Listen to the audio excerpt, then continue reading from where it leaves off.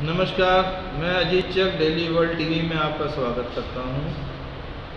पोरबंदर गुजरात से जो खबर आ रही है, वहाँ एक टीचर की शर्मनाक हरकत ने पूरे गुजरात को आज शर्म से डुबो दिया टीचर ने छोटे छोटे बच्चों के सामने अश्लील फोटोएँ पेश की, अश्लील डांस किया और ऊपर से उनको ये धमकी दी कि अगर वो अपने माँ बाप को बताएँगे तो उनको स्कूल से रस्टिकेट करके निकाल दिया जाएगा और उनकी ज़िंदगी चौपट हो जाएगी। फ़िलहाल एक बच्चे ने हिम्मत करके कुछ महीने बाद ये बात अपने माँ बाप को बताई। तो पता लगा कि टीचर ये हरकतें बार बार अलग अलग बच्चों के साथ रिपीट कर रही है।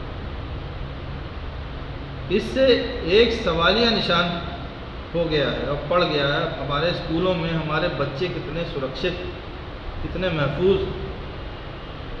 बच्चों के ऊपर कितना कंट्रोल टीचर्स और स्कूल अथॉरिटीज़ का होना चाहिए। क्या हर स्कूल को ये मैंडेटरी कर देना चाहिए कि सारे स्कूलों में, हर स्कूल की बिल्डिंग में, हर क्लास में इलेक्ट्रॉनिक कैमरा लगेंगे और इलेक्ट्रॉनिक सर्वेलेंस होगी?